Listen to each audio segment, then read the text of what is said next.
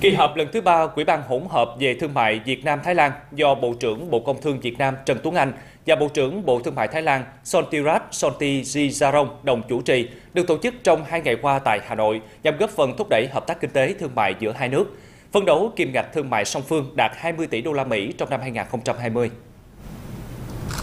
Tại kỳ họp, hai bên đã trao đổi và thống nhất một số biện pháp để tháo gỡ khó khăn trong hoạt động xuất nhập khẩu của các doanh nghiệp, thống nhất một số phương hướng đẩy mạnh hợp tác trong các lĩnh vực liên quan như là tạo thuận lợi quá thương mại, nông nghiệp, kết nối giao thông, hải quan, ngân hàng, đầu tư, lao động, sở hữu trí tuệ, hợp tác khu vực và tiểu dùng. Hiện Thái Lan là đối tác thương mại lớn nhất của Việt Nam trong ASEAN. Kim ngạch trao đổi hàng hóa hai chiều tăng từ 11,5 tỷ đô la Mỹ trong năm 2015 lên 15,3 tỷ đô la Mỹ trong năm 2017, với tốc độ tăng trưởng trung bình khoảng 15,5% một năm.